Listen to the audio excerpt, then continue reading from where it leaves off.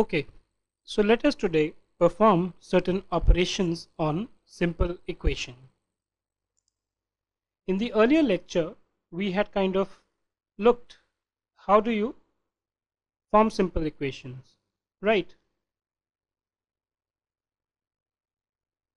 We had also broadly touched upon that if you do certain operations, the results remain the same. So what was the fundamental principle in case of an equation? The fundamental principle was that the left hand side is equal to the right hand side. So let us say we take the same example 3x plus 2 is equal to 20. Okay, now the first one that we do today is the addition. Here, basically, if you remember, in the last lecture, or let us say the value of x is equal to 6.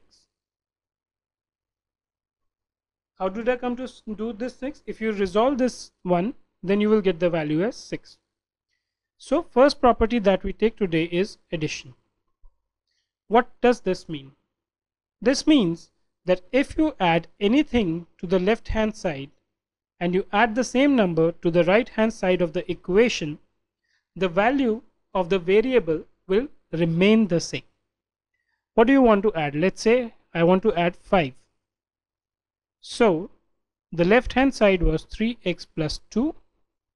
I add 5 to this. The right hand side was 20. I add 5 to this. What is the result? We know that in case of such brackets, addition is commutative, which means that even if we add this numeric number to this, it would not make a difference. So I write 3x as 3x plus 7 is equal to 25. So now I have been told that 3x plus 7 is equal to 25. Now how do I ascertain what is the value of x? To do this, what I did was that I will subtract 7 from both the sides. So 3x plus 7 minus 7. If we perform both the operation, same operation on both the sides, the value should remain the same. So I reduced 7 from both the sides.